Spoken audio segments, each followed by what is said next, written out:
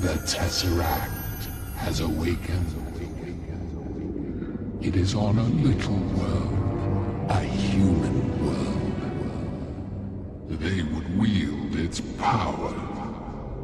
But our ally knows its workings as they never will. He is ready to lead. And our force, our Chitauri, will follow. The world will be his, the universe yours. And the humans, what can they do but burn?